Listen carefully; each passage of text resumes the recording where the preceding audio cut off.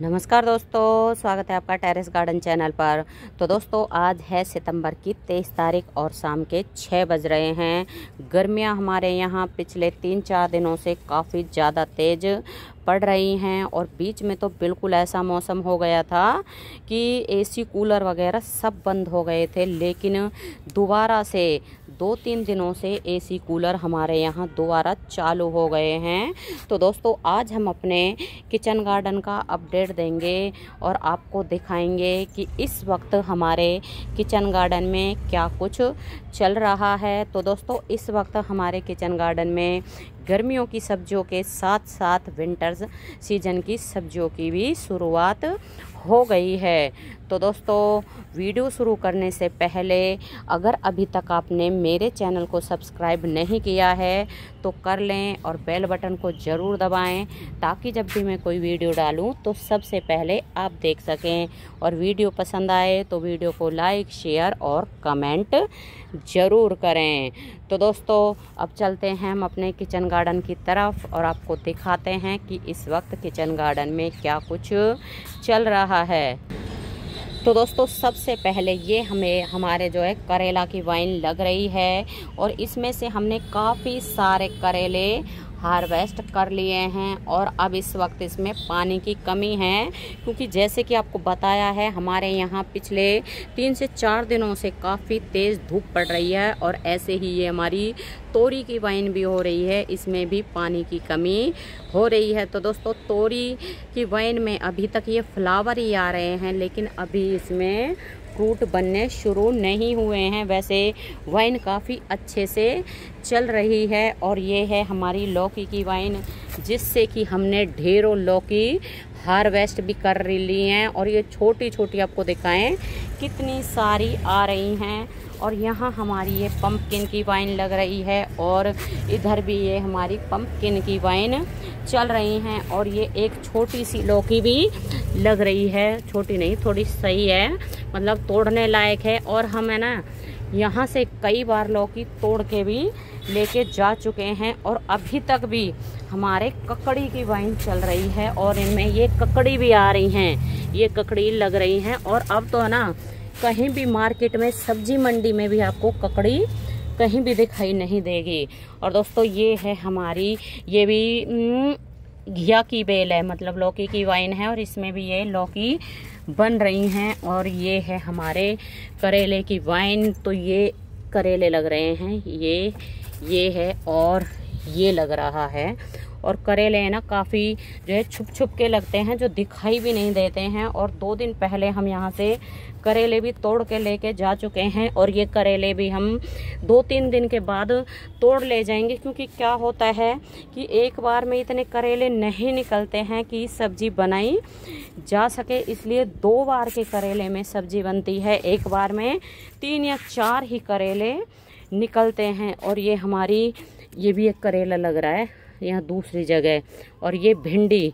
तो भिंडी हमने काफ़ी सारी लगाई थी, लेकिन पता नहीं बीज खराब था, क्या था? तो दो तीन पौधे ही भिंडी के लगे हैं, और ये भिंडी तो हम तोड़ना भी भूल गए हैं, और ये शायद पक भी गई है। बाकी ये छोटी छोटी भिंडी आ रही हैं तो इनको तो हम तोड़ लेंगे। और दोस्तों, ये हमारे जो है टिंडे लगे हुए हैं। गर्मियों से ही काफ़ी सारे टिंडे इनमें से हम जो है हार्वेस्ट कर चुके हैं। और अब भी इनमें ये छोटे छोटे टिंडे आ रहे हैं। कोई छोटा है, कोई ये बड़ा है। मतलब अच्छे से टिंडे की वाइन हमारी चल रही है। और टिंडे तो इसमें से हम हार्वेस्ट करते ही रहते हैं। और यहाँ तो ये इतना मोटा टिंडा लगा हुआ है, ये शायद ना, रह गया है। और दोस्तों, ये है हमारे बैंगन के पौधे जिनको कि हमने सीड से लगाया है। और अब इनमें फूल आने शुरू हो गए हैं और यहाँ ये बैंगन भी छोटे छोटे शायद बन रहे हैं। और दोस्तों, इस बार हमारे यहाँ गर्मियों में बहुत ही ज़्यादा गर्मियाँ पड़ी थी तो लास्ट ईयर के हमारे पास जो बैंगन के पौधे लगे हुए थे, सभी के सभी खराब हो गए थे और ये पौधे हमने दोबारा से सीड से ग्रो किए और फिर हमने यहाँ शिफ्ट कर दिए और ये हमने लगा रखी है टमाटर के सीड डाले थे तो ये टमाटर के बीज निकल आए हैं। ये है हमारी सेम के प्लांट हैं ये। इनमें अब सेम आनी शुरू हुई है। तो ये हमारी जो है सर्दियों की सब्ज़ी होती है। सर्दियों में ही सेम लगती है और बैंगन भी सर्दियों का है और ये टमाटर के जो है, ये भी सर्दियों के हैं। यहाँ भी टमाटर लगाया था, लेकिन वो ख़राब हो गया है और मतलब बीच बीच में ऐसे टमाटर के पौधे ख़राब हो गए हैं और कई पौधे तो चल गए हैं जो हमने सीड से लगाए थे। इसमें तो ये फूल आने शुरू हो गए हैं। और दोस्तों ये भी सारे के सारे बैंगन के ही पौधे हैं जो कि बाद में ग्रो हुए थे और सभी साथ के हैं। ये वाले भी एक साथ लगाए थे मतलब डाले थे हमने और ये वाले भी मतलब ऐसा होता है कि कभी आ, कुछ पौधे पहले ग्रो हो जाते हैं और कुछ पौधे बाद में ग्रो होते हैं। तो ये वाले पौधे बाद में ग्रो हुए थे।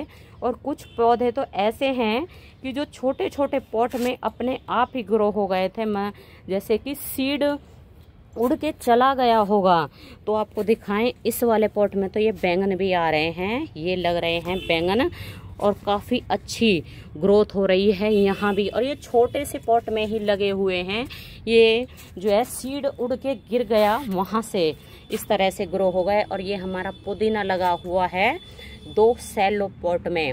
और पुदीने की खुशबू तो है ना, बहुत ही बढ़िया आती है और जहाँ रखा हुआ है वहाँ बहुत ही ये खुशबू दे रही है और ये है हमारे हरी मिर्ची के, जो कि हमने अभी लगाए हैं। और यहाँ हमने ये बीज लगाया था।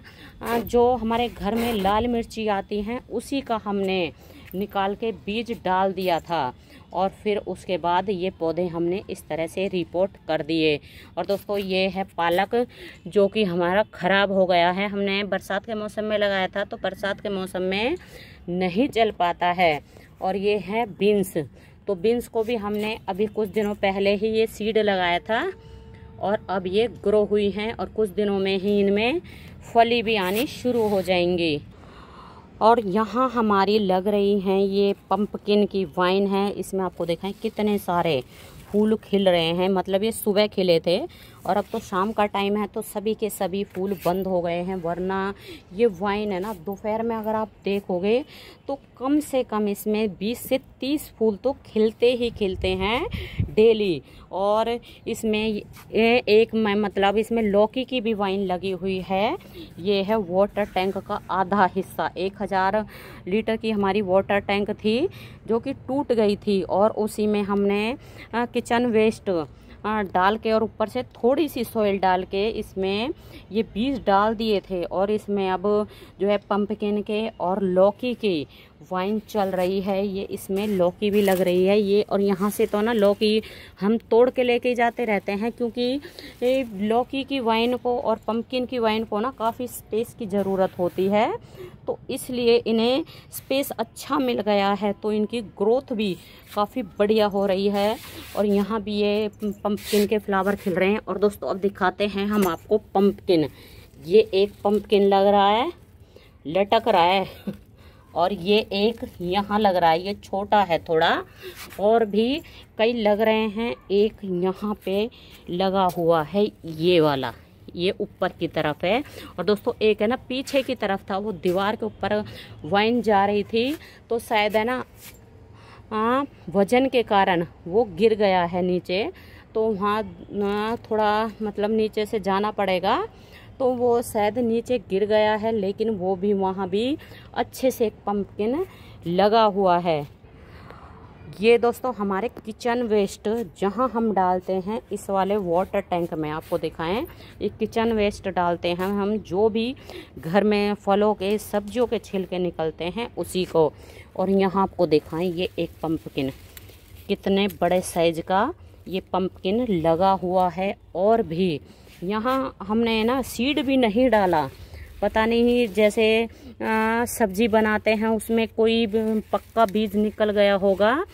तो उसी से ये वाइन ग्रो हुई है। और एक पंपकिन आपको दिखाएँ। ये रहा एक पंपकिन कितने बड़े साइज़ का है। ये सबसे बड़े साइज़ का पंपकिन है, जो कि नीचे लगा हुआ है। इसके नीचे और इसके नीचे एक वाइन भी जा रही है।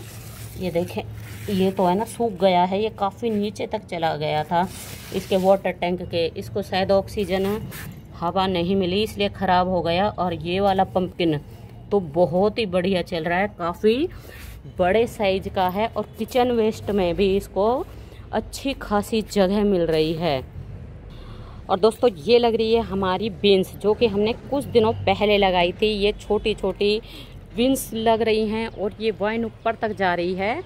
और ये भी बीन्स लग रही है, क्योंकि इस वाइन को हमने ऊपर चढ़ा दिया था। इसको सपोर्ट दे दिया था और ये कुछ दिनों पहले ही लगाई है, इसलिए इसमें फली आनी शुरू हो गई। और इसमें जो पहली फली आई थी, उसी से हमने जो अभी आपके साथ प्लांट शेयर किए हैं बीन्स के, वो इसी की फली से हमने लगाए हैं। तो दोस्तों, आपको हमारा किचन गार्डन कैसा लगा है? आप हमें कमेंट करके ज़रूर बताएँ। तो अभी के लिए बस इतना ही। फिर मिलते हैं। नमस्ते जी। धन्यवाद।